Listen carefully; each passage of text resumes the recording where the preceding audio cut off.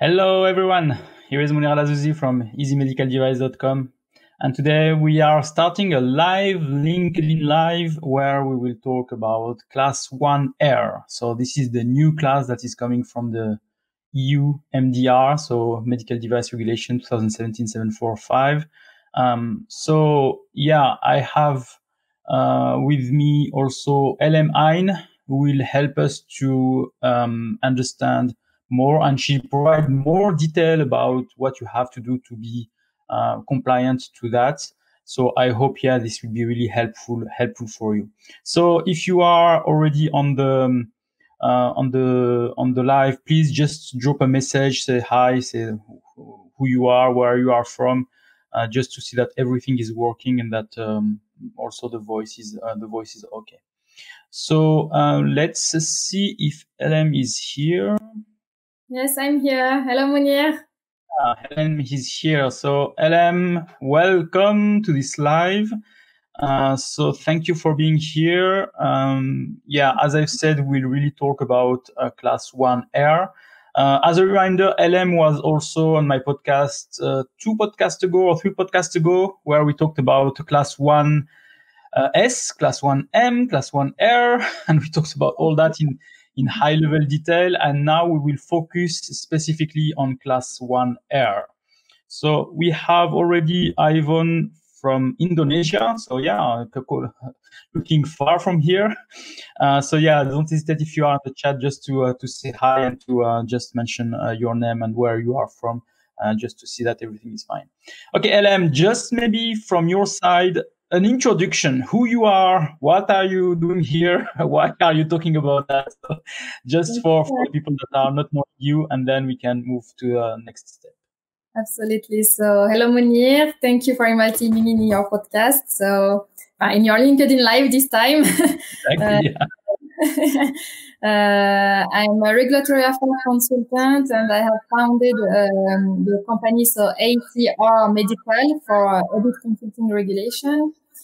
Uh, so I have six, seven years experience in the industry, but uh, I get uh, two degrees in business. Uh, so I did a business development uh, and marketing degree.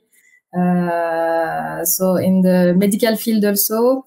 Uh, and I also have a postgraduate postgraduate degree. I will, I will in the medical device and regulatory affairs. So, so great. So I hope we have uh, uh, enough um, enough knowledge to provide to the people um, on the on the audience. So I see already that there is some people from Germany, Tübingen. So Ayo, mm-hmm. uh, wife, sorry, Julia Annette. Um, we have in Belgium, Catherine. We have uh, Mika, Michael from Minnesota, uh, mm-hmm. Pennsylvania, Mopera. So Shan from Germany, Riyadh. So Poland, India with Ranjit. Uh, Romuald Dubanski from from Poland, so always always on the live, Romuald. uh, so yeah, I see already people from Morocco, Dubai.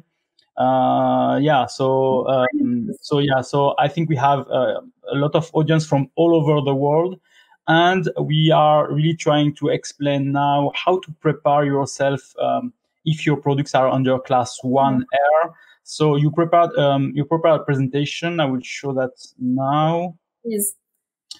Um, and I will I will change the slides when you say to me if it's okay. And um, uh, to start first, I think we have uh, some discussion to do about some general information. Um, we have just this one information, the date of application postponement or postponed, um, mm-hmm. just for everybody's information. We just reserved uh, one hour ago or less than one hour ago the proposal that the European Commission um, has drafted regarding the uh, the, de- the delay of the date of application uh, for one year, so until May 26, 2021. It's an eight-page document, so we have to read it and see what is included inside. And um, I hope, yeah, this will go through. But what is important to understand is the fact that um, this date of application, uh, it's a proposal. So it's not something signed. I have already some people that contact me and say to me, Monir, it's already signed. Why you are not talking about that? Why you are not changing the documents, etc. So I'm not changing anything because it's not signed. It's just a proposal that was just published today. And uh, there is still the parliament and the council that has to approve that. And apparently, from what I, I saw, they will approve that by end of May, so nearly at the date of application. So uh, don't stop your projects. Don't do this mistake, if I can say, to delay your project just because of that. Uh, wait until you have really the final uh, decision from from the government. I hope it will go through because I think we need that with the, all the the, the bottleneck uh, for the notified bodies and everything like that. So I think we need that but don't make it like it's a done deal. It's not a done deal. We have really to move forward. We have really to continue our our our discussion. So I suppose there will be also a lot of people on the on the chat that um, will maybe have some comments about that. Um, but uh, yeah, so just a, a small message uh, out there. I published something now on LinkedIn just to show you the proposal if you want to go and read it. Um, but yeah, I didn't have the time to to read everything, but I just saw some some part of it. Um, okay, so um, Elem, I think this have an impact in the timeline for the class one R. So um, let's discuss now about class one R specifically, and maybe about the the timeline or the new timeline for this uh, for this uh, class of device. Yeah, at the beginning it was previous that the date of application for the class one R uh, was for the 26 May 2020, but thanks to the second corrigendum published in December uh, 2090, uh, the date of application uh, to be compliant with the MDR for these devices has been postponed to the 26 May 2024. Uh, so uh, after this date, uh, all the certificate per MDD and AI MDD also become void. Uh, but we need to know that uh, we can have some significant change during the during today and until 26 May and 2024.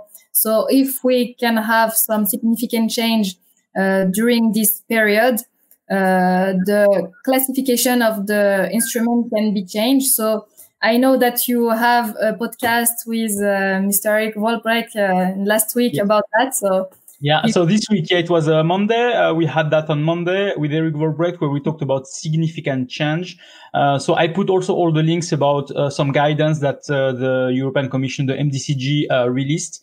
Uh, so to explain what is a significant change, they have some flow chart and this and that. So that will explain that to you. Um, but yeah, it's clear that if during this time from the date of application until the 26th of May 2024, if you are doing any change for your class one R, also for your software, because software mainly are also up classified, etc. Mm-hmm. Any product that is up classified and any product that has an MDD certificate that is applicable um, uh, and if they are under a transition period, if there is any transition, if there is any significant change, then you are flipping all your certificates from MDD to MDR. I mean, you should flip them all from MDD to MDR.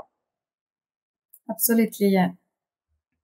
Uh, just looking quickly on the chat, uh, what's there? Yeah. yeah, sorry, Romuald, for yeah, I cannot do that now. Uh, but uh, if you are going to, uh, uh, Romuald is asking me if I can send the link for the document um, for this document. I cannot do that now, but it will be on the on the replay. So I will put that also on the replay. And Robert is just putting, I think, the link, uh, or maybe he's asking the, the, link for the for the for the proposal. So yeah, Robert, thank you. He's, he's putting the link there. So thank you, Robert. Um, okay, so let's move forward now. Next uh, one. So here. Yes, so just the definition of the class one or so, as you said at the beginning, it's a new class, it's a new class, sorry, uh, which is appearing uh, under the MDR. Uh, and this class uh, has a specific rule. This is the rule six uh, given in the Annex 8. So we can read clearly that all surgically invasive devices intended for transient use are classified as class 2A unless they are reusable surgical instruments. So in which case they are classified as class one. So class one R normally, yeah. And yeah, we have it's, it's, class one, but yeah, the, the, the, the, thing is that as as the definition is reusable surgical instrument, uh, it's falling under. I mean, uh, I uh, just for clarification also, uh, the class 1R or class one S or class 1M is not existing, if I can say, as a vocabulary in the in the in the in the regulation or in the in the directive. It's something that just we created instead of saying class one with measuring function or class one with sterile function or class one with reusable. We are just putting the first letter, which is S, M, and R.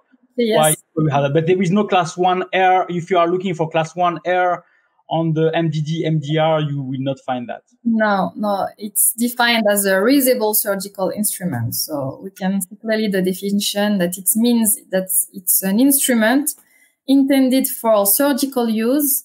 So in cutting, sewing, scratching, as uh, as I said also in our previous podcast, uh, which is intended by the manufacturer to be reused after appropriate procedures such as cleaning, disinfection, and sterilization.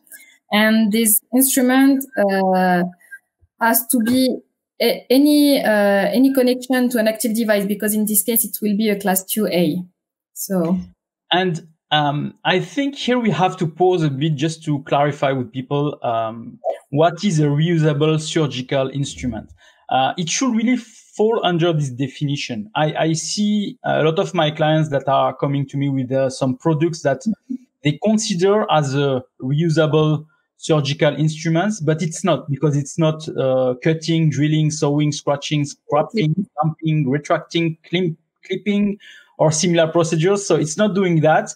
Uh, it's reusable. It's maybe used in, in a surgery room, but it's not a surgical, uh, reusable, reusable surgical instrument. So uh, I know that um, there are there there are also some people that are trying to fall under this rule just to benefit from this transition period until 2024. Uh, but yeah, you I mean you cannot normally. yes, Um, yeah, we, you have also some example, I think, for that. Uh, yes, absolutely. I have, I give some, I provided some example in the next slide. So, uh, I think the most commonly used and the most commonly known by everyone is the scalpel blade. So, uh, is typically a surgical instrument. So we also have lots of hundred and hundred uh, types of surgical instruments. So as bone hole, uh, Kocher forceps, uh, extractor, screwdriver, uh, drill drill guide. Also, we also have implant holder. So uh, and um, commonly the um, surgeon, in the case he will put in place an implant to the patient, uh, the manufacturer normally provide an ancillary boxes. Uh, so in this ancillary box, we can find all the surgical instruments uh, that the surgeon uh, could use during the in- intervention. Uh, but you have to know that all these surgical instruments um, cannot be only class 1 R's because as I said before, uh, we can also find some cl- class 2A. Uh, as for example, we can have uh, a drill with an AO connection. and as it will be put in the energy source, it will be a class 2A. So, uh, but commonly uh, we we have these uh, ancillary boxes, and we can also talk about the the box only. okay. that's it's a medical device for sure. It's an accessory of medical device, but it cannot be. Um, declared as a class one reusable because we, we, we saw the definition yeah, I think I'm just looking now at the definition. Is a box uh, a surgical box cutting, drilling, throwing, scratching, scraping, clamping, retracting, clipping, or similar procedure? I don't think so. Um, so I suppose it's not a class one R. Yeah, but it's even though it's up to the manufacturer to declare it as a as a class one reusable. Uh, he, he he can place it if he wants as a class one reusable. Uh, but, but uh, I suppose notified bodies may have some comments to that. I suppose. Absolutely, yeah, absolutely. That's what I want to say. okay. No, I think yeah, it's you have really to be careful when you are trying to decide if your product is class one R or not, uh, yeah. because yeah, we have a lot of products that um, that may fall under the definition of class one R, but you have really to be careful and, and check the definition and check if it's really falling under this definition.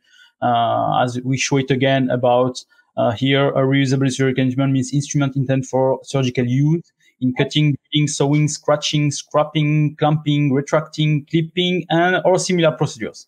So I think uh, after after after this live, they will know all the definition. yeah, I suppose also, and it's clear. So it's clear. Yeah, I mean it's clear. Yes, but uh, you have to make this evaluation for each of your product because um, I suppose there'll be some products that are just clipping. So and maybe they are yeah it, it's used during a surgery. And maybe people think oh it's not cutting but yeah but it's clipping. So it's it is a surgical uh, reusable instrument a reusable surgical instrument. Absolutely yeah. Okay next step. What are we talking about now? Conformity of procedure conformity procedure. Absolutely yes. So uh, ju- just to give the, the the step to be compliant with the mdr the the conformity procedure it doesn't change compared to the MDD. Uh, but as the class one R is new uh, under the MDR, uh, and we need the intervention of the notified body, the manufacturer just have to know that uh, the the involvement of the notified body is only limited to the aspects uh, relating to the reuse of the device. So okay it's written in the article 52. So in particular in the cleaning, disinfection, sterilization, maintenance, uh, and functional testing and the related instruction for use. Uh, so uh, the the notified body will only uh, look at this at this aspect as the reuse aspect. So uh, he he will come on the manufacturing site just to precise and uh, verify and control if if these aspects, so the cleaning, sterilization, is in accordance with what the manufacturing with, with what the manufacturer has uh, written in the technical file. Okay, so uh, he will come and check the cleaning aspect or disinfection aspect or sterilization or maintenance or functional testing. Um, will he check also the design of the product itself or? Uh, he can, but no, as it's written, normally no. So I suppose he will do the, just the check specifically for cleaning aspects or uh, disinfection aspects of, of the product, I suppose. Absolutely. He will look at the validation report. So uh, we have uh, after the in, the in the presentation we will see the validation report. So because these aspects only will be validated uh, with the reprocessing uh, validation report. So uh, he the, the notified body will audit this part. Okay. No, I think it's, yeah. it's fine. So um, I suppose the audit will be also shorter. It's not like a full audit, so they will come maybe less days to audit uh, just those aspects. Yeah, absolutely, because it's a class one R, so they are uh, less risky than the class three. So and yeah, so less days means also cost less for the companies that are that are doing that because yeah, the auditors are are are, are defining that per size of the company and uh, days uh, man days. So uh, if you have less days uh, and a small company, so it's not costing uh, too much for for you then. Absolutely. Okay, so next is assessment of the impact of the MDR. So uh, just to to to, to start, uh, if you are a manufacturer of uh, surgical instruments, uh, you, you have to assess the impact of the MDR. And I think the first thing to do is uh, a gap analysis and uh, you you have to review the past data and uh, recognize the missing or obsolete issues in medical device design history file. Uh, so as the as it's written in the MDR, uh, the manufacturer has some obligation as the implementation of a quality management system as per Article 10, uh, because we can say that it's it's uh, it's it's new also for the MDR because only for the class one manufacturer. Uh, uh compared to the MDD uh, for um, class one manufacturer, they are not have this obligation to implement a quality management system. But now with the MDR, only uh, even if you are a class one manufacturer, you have to implement a quality management system. Yeah, I think everybody has to do that now. So, uh, but yeah. don't uh, for for some some aspects there is no need specifically to go for uh, a full ISO 13485. Uh, look look specifically at Article 10. It's mentioning uh, Article 10 um, subparagraph 9, if I remember. Uh, it's showing specifically all the items that you have to have on your quality management system. So I think yeah, focus on that first, uh, so that you are you are ready then. Yeah, absolutely. And regarding this aspect, uh, you you you cannot, I think, exclude some parts uh, like the the design and uh, the, the, the manufacturing part also. Yeah, remember well. Uh, yeah. Because it's, it's mentioned that yeah, design is also one part of it. Yeah. But uh, as we said, this is uh, just to have this quality management system, um, and you have to show that things are, are available. Yes. Absolutely. And the new thing also is to designate a PRRC, so it's a person responsible for regulatory compliance. Yeah. Uh, I think this one will be maybe most of the struggle of some people because um, I have I have a lot of uh, clients that are telling me that they are it's a small business, so there are three, four, five, six, seven, eight people, and mm-hmm. Them is really knowledgeable in terms of uh, being a PRC. So you know that um, you have to have a certain diploma plus one year of experience, or you should have four years of experience. Yeah, um, but yeah, it's it's it's a struggle for some of those uh, of those companies. So uh, mm-hmm. remind, a reminder: if you are a small company, a mid-size or a small company, you can hire a consultant for that. Uh, you just have to uh, to have an agreement with them and show that you these consultants or these people are permanently and continuously available for you. So you have maybe to, to pay them a, a subscription fee so that you can show that uh, they are really at your service uh, permanently and continuously, uh, which doesn't mean that uh, even at 3, 3 a.m. in the morning, they can call you, they can call the PRC to ask him for something. But yeah, it's mainly that business hours specifically. Absolutely just to to, to take less risk, it, it's better to to designate two PRC at least. Yeah. Just true, in- true. Yeah, it's, it's what, what, I have uh, also with some of uh, of uh, of uh, my colleagues here. Uh, there is some PRC that are asking for backup, so we are also uh, backing up each other and saying in the contract that here is my backup in case I'm not available. Okay. Okay. Next one is. Yeah, and the other obligation is, uh, as usual, the the so to, to to write the EU declaration of conformity, to to have the CE marking attestation, to do the reg- registration. So it's the same way until EUDAMED will be functional in May 2022. uh, and the manufacturer can choose the conformity assessment between the Annex 9 and 11. So as we discussed uh, in our previous podcast, the the the most commonly um, conformity assessment uh, cho- chosen is the Annex 9 because the audited the, the audit will be done on the quality management system and technical file.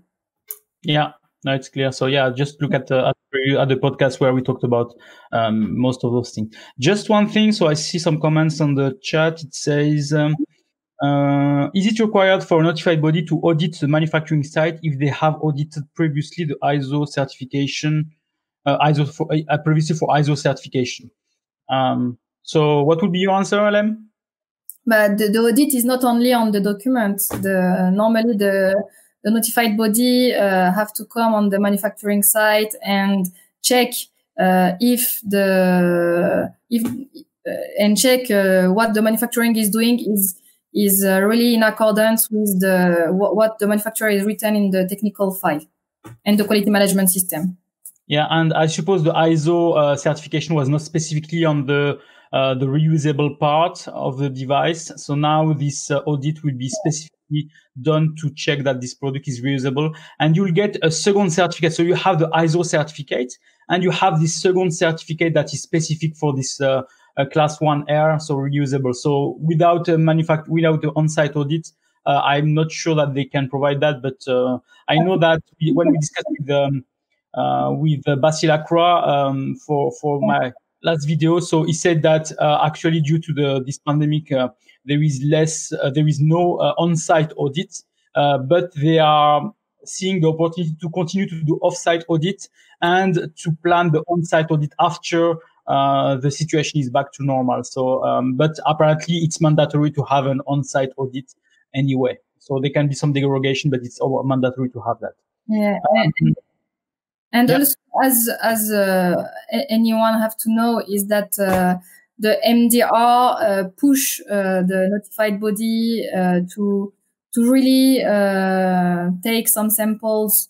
So it's really important to to to to them to to go in the manufacturing site.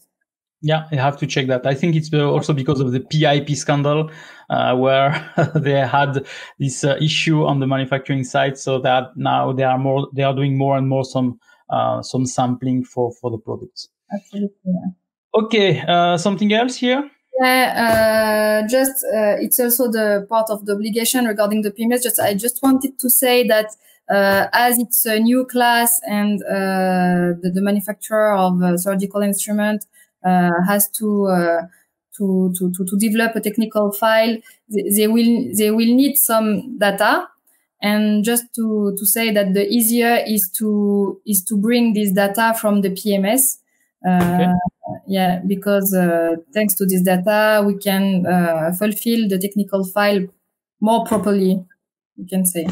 Yeah, I think I think if you have already a, an history with your device, get this history. Um, and I have uh, Robert Van Boxtel also on the chat. And we had also a, a, podcast episode where we talked about those clinical data that we can use uh, from history uh, and specifically for class one device also. Uh, so if you want to also to go and, and check this, this episode we had with, with him, but specifically, yeah, existing data is really a great source of information for you. Uh, so that you can really show that your product is maybe here since many years and uh, there is no complaints, no uh, vigilance, no issue, uh, no, nothing, and it's working properly also. Absolutely. and so okay. you in the next slide. Next slide, how to do when we have lots of surgical instruments in the portfolio. Yeah, it's also something it's interesting here because uh, it's um, we had I had also some clients that called me and had 600 uh, instruments, and you say, how are you dealing with that? so it's, uh, it's really a nightmare. But uh, yeah, what are we doing here? So in this case, yeah, it's important for the manufacturer to put in place uh, a strategy, and uh, one of the strategy is to is to optimize the portfolio and uh, do some family group. So just to give some uh, idea, some method, uh, you can do your family group. Uh, so you can do the next, yeah, as per the step of the surgical techniques, because uh, you you can you can divide your surgical techniques by step, and you can do your family group uh, following this step. And the other thing is that you can also do your family group uh, regarding the design of the devices as the shape and height or the material of the devices. So it's just some example. The of course, so it's up to the manufacturer to, to do this uh, family group uh, regarding the strategy of the company, and uh, it, it has to be coherent. So yeah, it's, it's true. So uh, from my side, I was more using the design of the device, shape, height, material, etc. Yeah. But it's a huge work. It's not something that is uh, easy to do. It's a huge work. I remember we had tables with a lot of drawings, and we had to check which mm-hmm. drawing go with which other, which size is good, which size is similar, etc. Mm-hmm. Uh, but yeah, it's it's it's not something easy. I don't think there is any standard that is existing to do this kind of, of work. No, no, there is no any standard about that, but uh, I think it's an important step because uh, you you can save lots of time after to to, to build your technical file. So. Uh, so, are you building one technical file per group then, or what's what's the plan here? No, you can you can do. It depends. I will say it depends uh, of the of the portfolio and the and the manufacturer uh, political uh, uh, strategy. So, uh, but, but, uh, mainly, mainly, mainly, doing this grouping, what is important by doing this grouping, mainly that you are selecting a worst case, I suppose.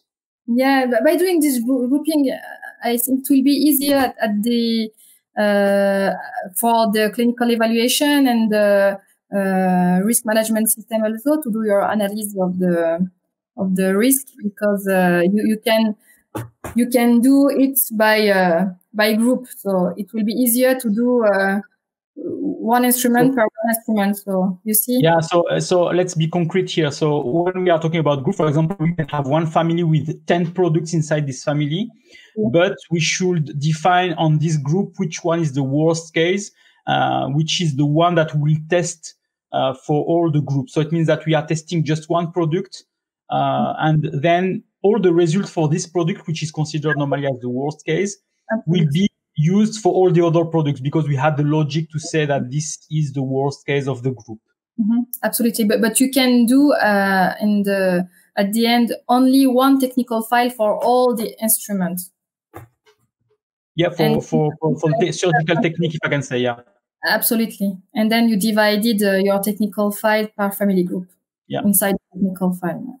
Yeah, so it's uh, it's also something that is is, is important is uh, to define your strategy here uh, because it can help you really reduce your your time a lot, uh, reduce uh, all the work. But there is a big work to do of grouping, which is I know I, I was working in a in a company uh, doing surgical instruments, and it's really a nightmare. So it's not like it's an easy task; it's really a nightmare. So because you have really to provide something really logical, but also something that the authorities will accept as your as if there is no standard, so you have to convince them that the, the, the, the way or the method you used is correct. Yes, absolutely. Okay, yeah, as we said, to save time. Absolutely. Next one, validation studies. Yeah, so it's the most important part uh, we can say regarding the class one risible. Uh, as we discussed before, the involvement of the notified body will be only limited on the cleaning, disinfection, sterilization, so uh, to, to, to, to, to prepare uh, your compliance uh, with this part, the manufacturer has to select appropriate validation studies uh, to be able to prove the safety and efficacy uh, of cleaning, disinfection, and sterilization method. so you can you can use some standards here, I suppose. Absolutely, yeah. So we will talk about the standards just after. Okay. Uh, and it is highly recommended to follow these standards because uh, it is very uh, well done and really clear. Uh, you, you, can you can see uh, all the all the um, pro- protocols to to follow, and uh, so you, you, can be really easily compliant step by step from following the standards. So yeah. the second thing is to, to, to write the validation protocol. So as you said before, choosing your worst case. So that's why it's really uh, better to do your uh, family group.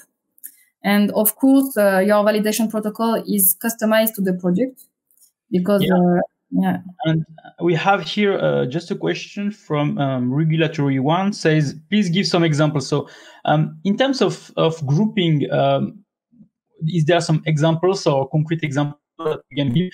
From my side, the example I can give is, for example, we had some uh, instruments that are cannulated. Uh, it's like a small diameter size where water can go inside, but more the diameter is small, less the water can go. And uh, this was considered, for example, a worst case uh, because the size of the diameter plus the length of the cannula uh, is really high. And this can be a worst case for all the other cannules that are smaller with a bigger size, for example. So this is also this is an example of of thing that we can go. Uh, I don't know if you have maybe other example or maybe the roughness also. If uh, if there is some product with a high roughness and and really polished. Yeah, absolutely. You can also done your family group, uh, as I said, uh, as per the material of the of the surgical instrument, because all the surgical instrument has not the same material. And uh, if you do your family group uh, with the material, you can done easily your bi- biological evaluation also. So, but uh, yeah, it's another example, and it depends of your strategy. It depends. you can do your family group, yeah. As, as I said, this part, this part of the job is really a custom-made part. Uh, there is no one solution. Uh, it's really something that you have to find logically, but you have to see all your portfolio for that. But first, what I'm saying always to people when they have a, a huge portfolio is even to think about is it really does it really is it really worth to to put this product under MDR? or should you already discontinue it because it's maybe not giving you a lot of uh, revenue or this kind of thing first before to enter this uh, this game. But uh, yeah, it's um, it's really a customized work to do. So it's not something that, as I said, there is no standard. So it's not something that uh, we can answer here. But yeah, there is many methods existing for that. Yeah, absolutely. Okay, conducting tests now. Uh, yeah, and then so after having write, written your validation protocol, you you have to conduct the test. So and for that, it's easier to, to contract a research organization uh, and uh, or a laboratory t- testing partner. Uh, and then they they will done the the test uh, for you uh, because they have the laboratory and all the equipment to do that. Uh, and then with the report provided by by the laboratory or the CRO, uh, you can write your uh, validation reprocessing uh, report. But I, I, think you have, as you have written this validation protocol, uh, they have first to review it and approve that they can do it, if I can say, because uh, if you are mentioning some standards, some methods, etc., it means that uh, they should be capable for doing that. Yeah, yeah. it's just recommended to to get uh, the consultant from the laboratory testing partner or CRO, as I said, because uh, uh, it's for just for the suitable validation tests, and they can also correct gaps if there are, and they they will offer supporting data also. So yeah, I think I think yeah, in that case it's better to use a professional because maybe there is some statistics, there is some um, some test method. They have to calibrate their their me- test method, so it's not something that is just can be done in a table with uh, some some liquids, if I can say. You have really some methods, some tests, some machines to use. So it's better to go for a laboratory that is really qualified to do that. Absolutely, yeah.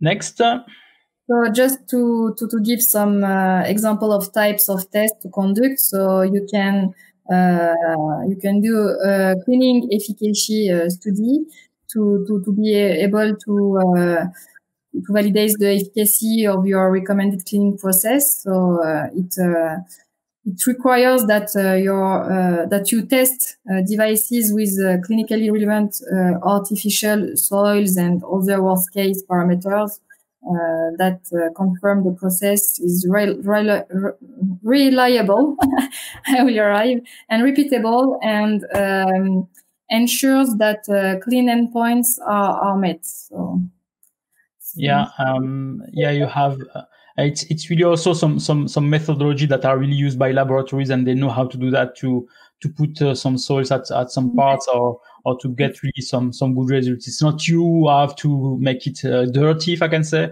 and send that to the lab it's uh, you give that to the lab and they have to do their work and they know how to do that if you have the lab, you can do it. that, it should be a certified lab. It should be following the good laboratory practices, etc. So it's not something easy, also something yeah, to have. Complicated, of course, yeah, and it's really uh, time costing and budget also. Uh, and uh, if you do it only once, it's not it's not worth at all. Yeah. So you can also have the sterilization efficacy studies. So it's just to, to use to verify that the sterilization method is su- successfully achieved uh, uh, targeted sterility assurance level. So even in worst case scenario, of course, as usual.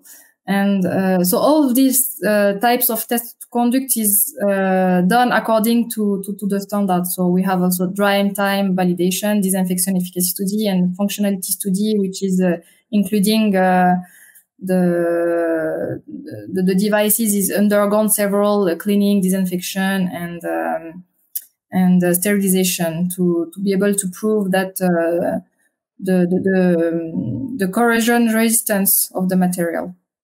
Yeah, and um, these these tests are really important because uh, what I'm seeing and what I saw uh, with some uh, some people is the fact that they are putting on the instruction for use uh, some cleaning method, some sterilization method, some dry time, etc. Mm-hmm. Uh, it's just a, a copy paste from another instrument or another tool or other things. And when I ask them, do you have a report or showing all those tests that your instrument is really clean or sterilized after going through all this um, this process, they say no. They say, oh, I just saw somebody putting that on their IFU, so I also put that on my IFU. Mm-hmm. Uh, just for information, you have to have a report that is showing that this is really uh, this this methodology that is used is correct and is uh, is validated for your product. So you cannot just copy paste that from another tool or instrument. You have really to, to prove that it's working because maybe your instrument is so complex uh, mm-hmm. that uh, it's not going uh, to work with this methodology. So you have to increase maybe the time of uh, mm-hmm. of cleaning or the sterilization or this or that. So you have really to um, to to test it and to have the report showing that. I mean, this is what the auditors will look for. So it's it's not just a, a question for of um, of uh, having that for your patient. It's also the auditors what they, they will really look for. So if you don't have that, they will not uh, approve your product. Absolutely, yeah. So that's why the, the protocol validation is really important. And uh, so, as you said before, because these studies uh, can be costly and time consuming, it is uh, really important uh, for the manufacturer to perform them properly uh, the first time. Uh, I had I had once to do it a second time, and to be honest, I remember the CEO told me, "What? Why I have to pay twice for for this kind of thing?" But we failed the first test because we made a mistake and we had to do it a second time. So it's a second time. So it means that we had to manufacture the products a second time. Uh, we had to send them again to the lab. We had to get the report. We had to write the new report again, etc. So it, it, was it was really a nightmare because we had also to delay uh, some products on the market because we had some issues in, in the manufacturing plant. Yeah. But yeah, preferably do it right the first time. Absolutely. And then after after the testing is complete, uh, you you will need to submit your data to to a notified body uh, through the as I said the reprocessing validation report. Okay. Yeah. Next one is all the normally the so um, just how to, to to to be able to to conduct the cleaning disinfection process uh, as per the standard so AAMI uh, TIR uh, 30. this standard g- gives some information about how to choose your contaminants. So and it is stating that the, the pro- protein is the marker most commonly used, but you also have other uh, contaminants uh, as the hemoglobin or uh, microbial. And you the the the, the, standard can also provide uh, just if you can before uh, some uh, pro- protocol some example of protocol so you can uh, do your protocol um, regarding manual or automatic regarding the cleaning and disinfection so it's just the slide before because ah, this is the, before, is the slide uh, for the sterilization process so so regarding the cleaning and disinfection process, you, you can follow a manual disinfection cleaning protocol or an automatic disinfection cleaning protocol or the both. And uh, you can choose only one of the both, but in general, the manufacturer choose the both and then put it on the uh, instruction for use. Now you, okay. you can. Yeah, yeah. Because, yeah, because it's true that the the manufacturer has to give, as I've said before, this uh, IFU on the IFU, the technique for cleaning or disinfecting, and they can choose many different. You can just say, here is one. And if you don't have this type of machine like st- steam sterilization, maybe you can use uh, gamma radiation or uh, hydrogen, uh, hydro, uh, hydrogen peroxide, etc. So you have, he has really to define that. So it's something that is, uh, is mentioned here. Yeah, absolutely. So you you have the the manual disinfection uh, with some agents, so with some uh, chemical uh, agents, or uh, automatic is with the washer disinfectors, uh, automatic. So okay. You accumulate the both huh, also. Yeah. So now regarding the sterilization process, uh, you can follow the AAMI TIR12 or the ISO 17 664 or ISO uh, 17665.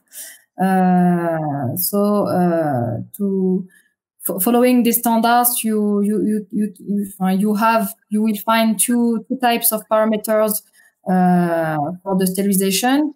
Uh, so the most commonly used in Europe is uh, the parameters using um, the temperature at uh, 134 degrees with an exposure time uh, at uh, 18 minutes and a drying time of 30 minutes.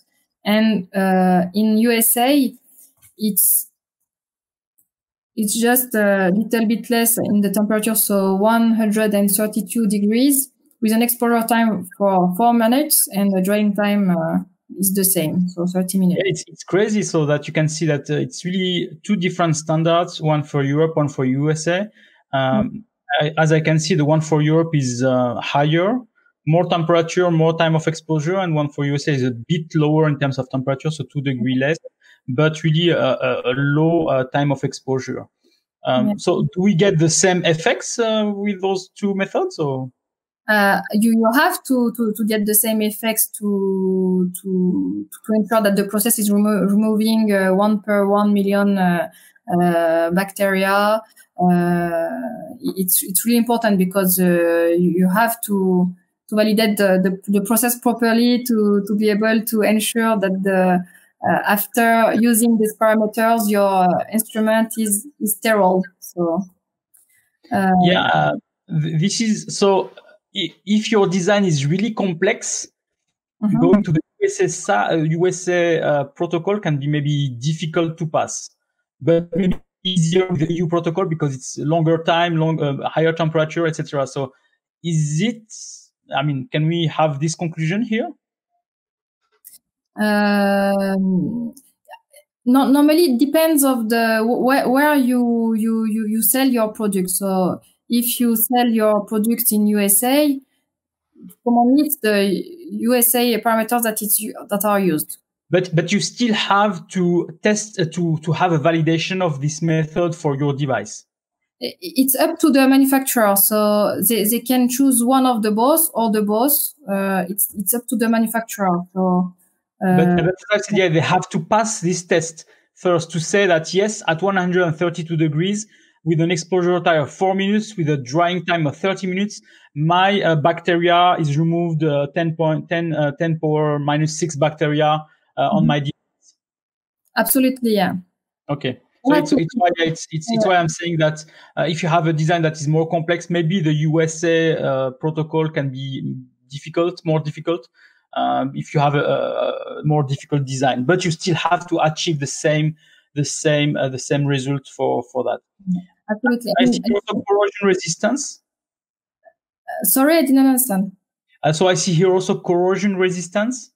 Yeah, absolutely. You you can also test the corrosion resistance uh, for the reprocessing. You also, you have a, a, standard about about that if you want to to to check. Uh, uh, if the these parameters of if all the reprocessing parameters that you uh, provide uh, to the user uh, is is correct or proper for the corrosion resistance. Uh, I, I, I, think that you know that uh, in the um, in the MDR we, we see that in the Annex One that the information shall be provided uh, to identify when the device uh, should no longer be reused. So as the signs of material degradation or the maximum number of allowable reuses. Uh, sorry, I think uh, I hope that I was clear about that. Uh, so that's why the corrosion resistance is important to, to test.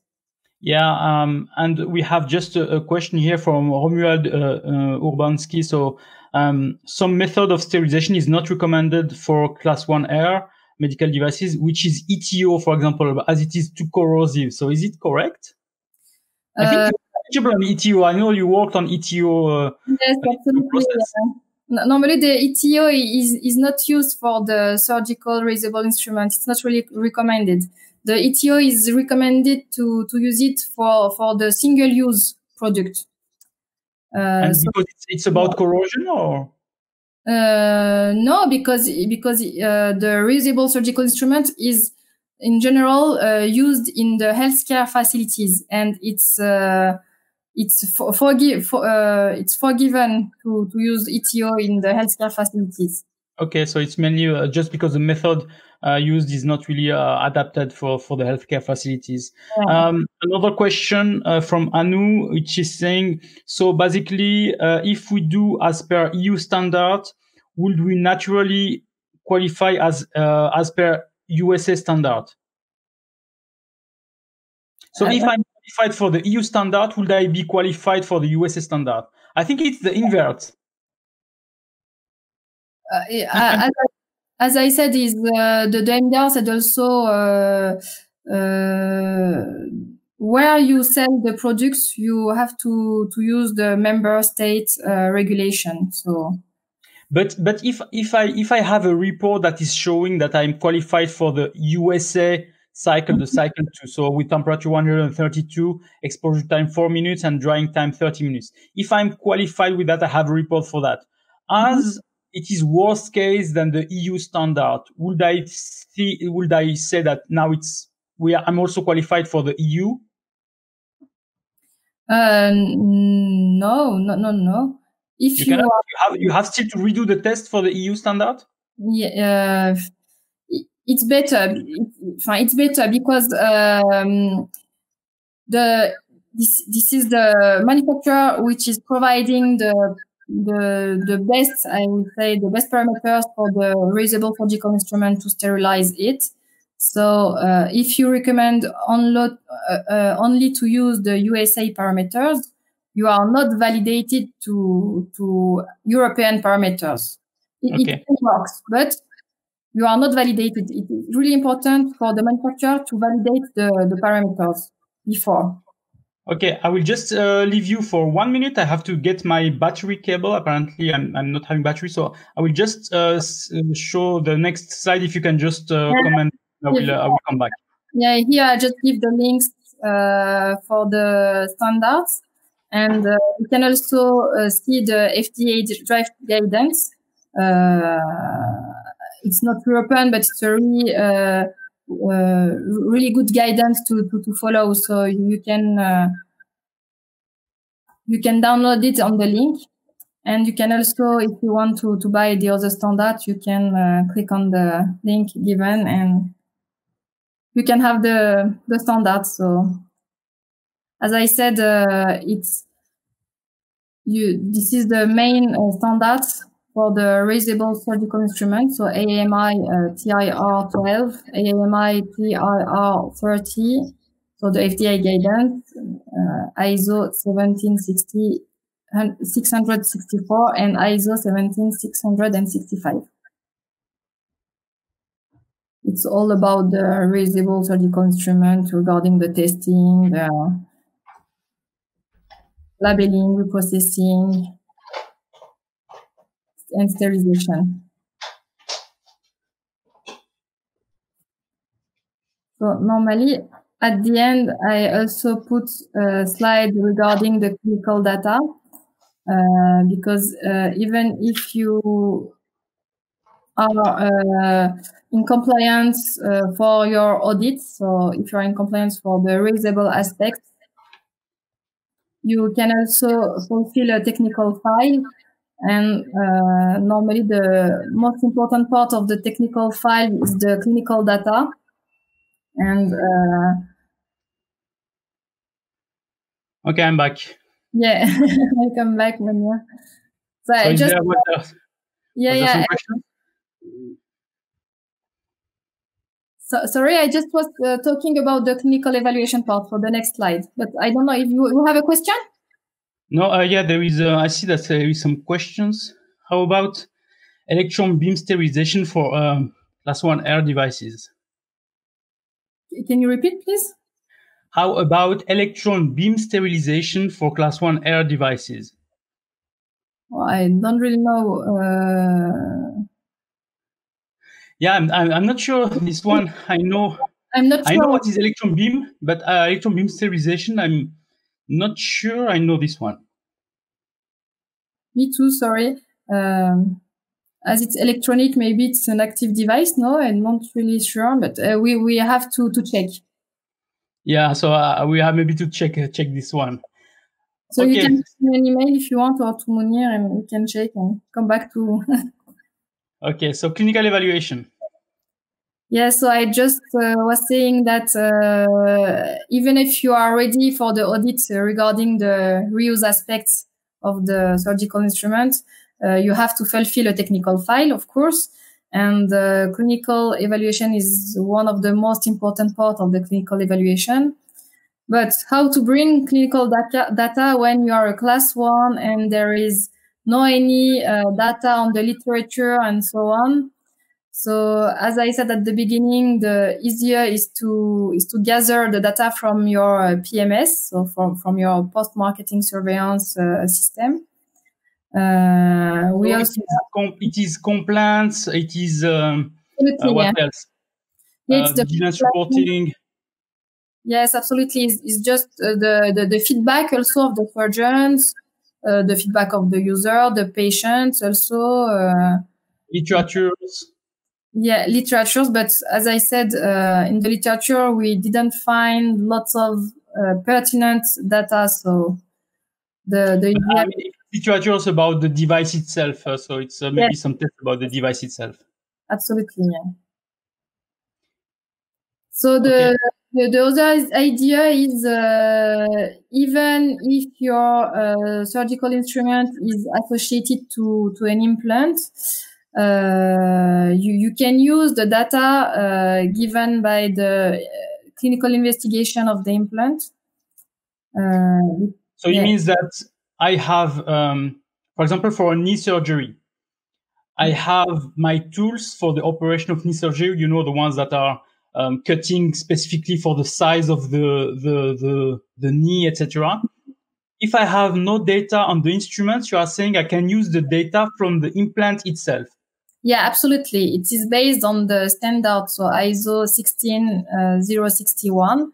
Uh, it's clearly uh, written that you can use the the the, the clinical uh, data uh, provided by the clinical investigation of the implant for the uh, surgical instrument. So, uh, um, so uh, for example, we are um, when we are getting some feedback from the implants, we have to evaluate if those um, issues that are happening, maybe if there is some complaints, if this can be due to the instrument itself. Is it correct?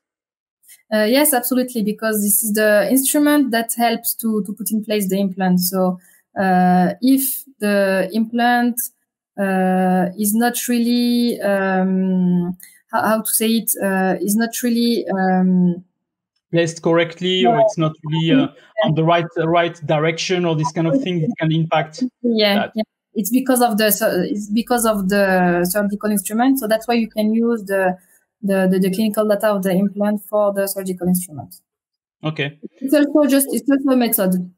So if you didn't have uh, lots of uh, data from PMS, you can use this, or you can also combine the two points.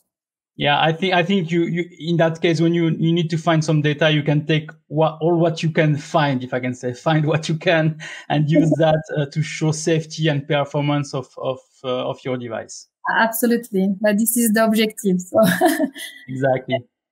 and finally, I just want to say if these data are not sufficient or if you didn't have any data because you are a new manufacturer something, something else, you, you can also uh, prepare a solid and uh, coherent argument uh, justifying that these devices simply help the surgeon to operate on the patient. And this is thanks to the Article 61, uh, paragraph 10. Uh, you, you, can read that uh, you can do your clinical evaluation without any pertinent data. You just have to uh, provide a solid and coherent argument. So what does it mean? It means that uh, you are here saying that um, without this device, the surgeon cannot do correctly his job, or what's what's the arguments, the solid yeah. and coherent arguments we are talking about here? is just to say that uh, it's not because of the surgical instrument, but it's because of the uh, surgeon uh, gesture, you know, uh, the, because the, the design of the of the surgical instrument is normally is correct, is is is proper, but okay, so it means that it's it's not it's not the fault of the instrument, it's the fault of the surgeon, is it that? yeah, the fault of the gesture of the surgeon because he he will operate the patient. So, so bad surgeon, bad surgeon. yeah, you, you, you, have to prove it absolutely. Yeah, yeah, yeah. You have to have a solid and current argument for that. So I hope you have it. yeah, it's not easy to have it. Absolutely. And uh, as I think uh, already um, anyone know, you you have the guidance of the MedDev uh, 2.7 slash one revision four regarding the clinical evaluation. So it uh, proposes a methodology for evaluating clinical data uh, and uh, confirming compliance with the essential safety and performance requirements uh, when using the medical device, so according the instruction for use. even if it's regarding the MDD, you can also use it for the MDR because uh, we cannot read anywhere that you cannot use the MedDev guidance at that time. So, yeah, um, I think the MDR is um, is getting a lot of things that are mentioned on the MedDev 271 with a bit more. I think there is more there. But uh, I'm still using the MedDev 271 for, for the clinical evaluation I'm, I'm, I'm, I'm working on. Um, but yeah, it's something that is really um, good because there is a methodology. I also had a podcast uh, about that with uh, talking about the different steps to create a clinical evaluation uh, with step zero, step one, step two, etc. Uh, but it's a, it's a long work also. It's don't think it's a, it's a small activity. It's not just googling quickly something and uh, taking some text. No, it's really a, a, full analyze to prove that your product is safe and performant to do that. Okay, yeah, thank you. And you have the links here also, yeah. Absolutely, yeah. To to download the MedDev guidance. Okay, we arrived to the end. Uh, is there other questions uh, for the people in the audience? So if you have some questions, please um, uh, don't hesitate. Um, so in the meantime, um, how can you help maybe some people in the audience if they have some project like that? uh, I can yeah I can uh, I, I, can uh, support them to to to check their technical file to check the, to check their uh, instruction for use so if you if they need some recommendation regarding uh, uh, which tests I can conduct or something like that yeah I can I can help them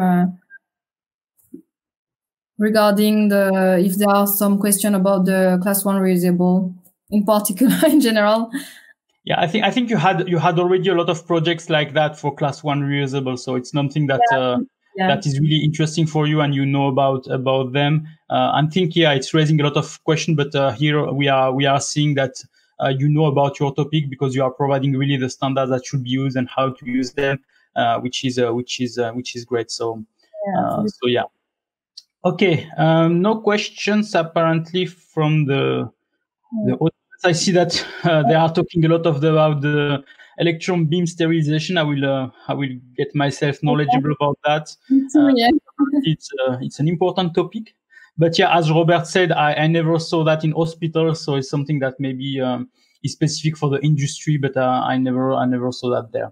Okay. okay. So great. So thank you for for that, Elem. So for thank all the people in the audience, um, the the there will be the replay of this episode. So if you want to get the slides uh, uh, that we showed today with all the links, with all the uh, all the the references to the standards, so please go uh, to the show notes and you will find that there directly. Uh, so for download. And if you have any questions, don't hesitate to contact me or to contact Elem directly. Here you have the details of uh, for for Elem where you can find her. Uh, and she's on LinkedIn also. So if you want to, to connect with her on LinkedIn. Uh, but yeah, if you have any question, don't hesitate. And uh, yeah, as we said, the date of application for the MDR is May will maybe be postponed, but it's a maybe. We will know that by end of May. So for now, don't stop. Don't stop your projects. Continue and uh, yeah, stay remain remain compliant. And uh, if you need any support, so you can contact us directly. Yeah, and it's better yeah. to it's better to to to uh, to be to be ready now that at the at the uh, I, mean, I mean if there is people that are already not ready it was already it is really already too late so i yeah. hope they can use that yeah. as a chance for them to to be compliant in in future Absolutely. okay good so thank you Em. thank you for all the people in the audience and i wish you really a nice weekend And uh, I hope you are all safe and healthy and that uh, you are locked down at home with uh, no connection with anybody, social distancing, as we are saying. So yeah, but I hope we really health and and and wealth for and uh, and all safety for your family. Okay, Elem. So thank you for your time, and I wish you a nice weekend. Thank you to you. Nice weekend. Nice weekend. Bye.